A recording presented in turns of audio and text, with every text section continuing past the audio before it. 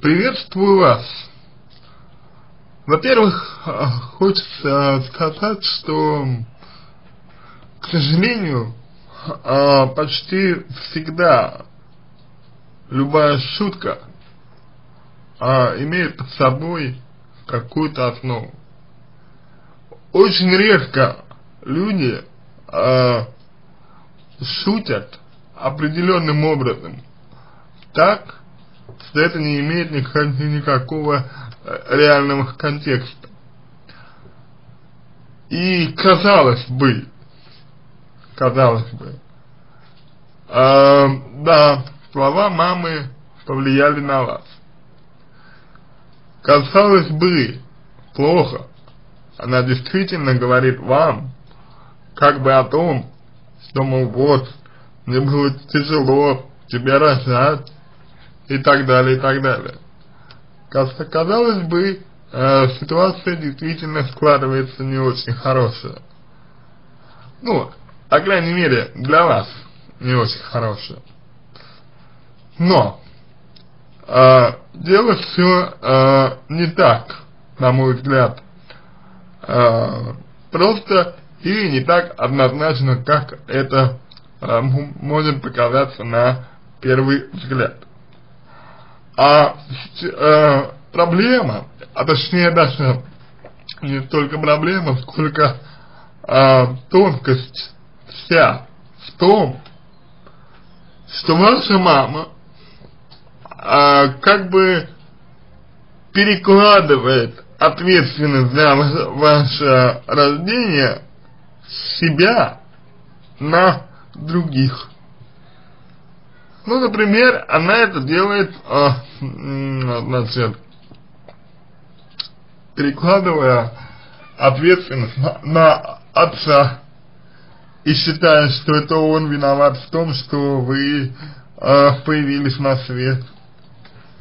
Она обвиняет вас в том, что вы виноваты, виноваты в том, например, что, что ей э, пришлось там испытывать определенные трудности, да, вот э, с тем, что она рожала вас. То есть это человек, который перекладывает ответственность себя за свои поступки на других.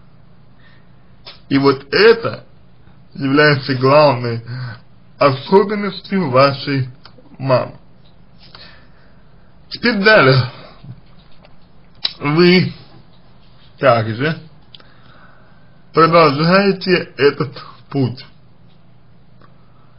Вы продолжаете этот путь своей мамы, эм,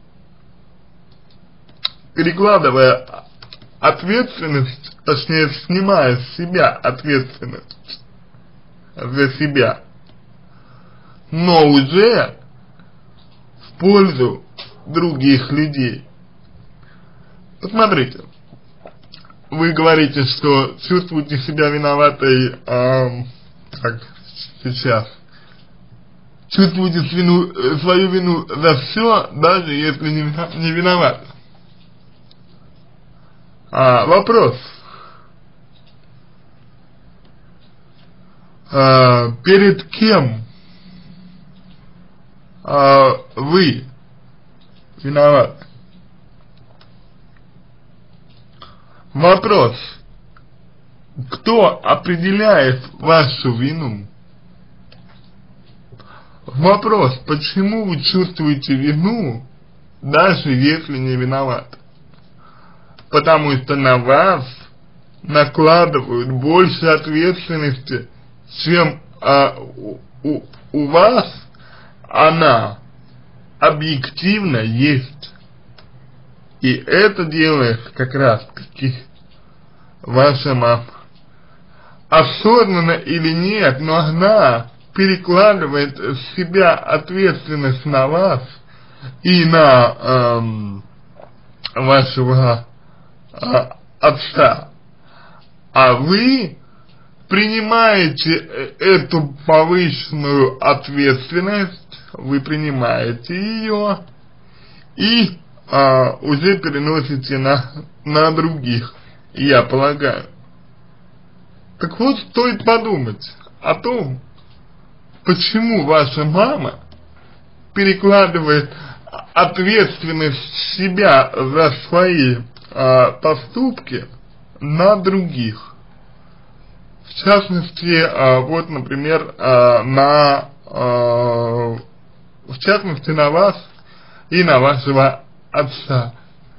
Вот с чем связана такая ее позиция, с чем она связана? Конкретно и по факту. Необходимо, необходимо, чтобы вы подумали над этим вопросом. И чтобы вы устанавливали грань, которую ваша мама не осознает. Она не осознает грани между своей ответственностью и ответственностью других, и вы не осознаете своей, э, своей гра границы, э, вашей ответственности и ответственности, опять же, других. И вот именно это вам и нужно сделать. Перестать взваливать на себя ответственность за то, что вам не принадлежит, за то, что от вас не зависит. Например, а решали ли вы, раздаться вам или нет? А, были, было бы лучше для кого-нибудь, если бы вы, ну, например, решили убить себя. Я думаю, нет. Потому что раз вы родились, значит вам нужно прожить жизнь. Кто отвечает за рождение ребенка? Его родители. Почему вы чувствуете себя виноваты? Вот над этим вопросом я предлагаю вам подумать. Если у вас есть э, неуверенность в себе, если у вас есть страхи какие-то, если вы ага, не принимаете себя в чем-то, где-то, как-то, все это можно проработать. Все это можно подкорректировать. Но для этого нужно ваше желание и более подробная история э, ваших отношений с родителями. В частности, нужна э, более ясная, более четкая позиция вашей мамы по данному вопросу. А вам необходимо понять, что она э, в это вкладывает. Какова ее субъективная сторона, чтобы вы увидели, что дело не в вас, а в ней. Возможно, в ее отношениях с вашим отцом, но никак не в вас. На этом все. Надеюсь, что помог вам. Если какие-то вопросы остались, пишите в личку. Буду рад помочь, если вам понравился мой ответ. Э, буду благодарен, если сделаете его лучшим. Желаю вам всего самого доброго и удачи.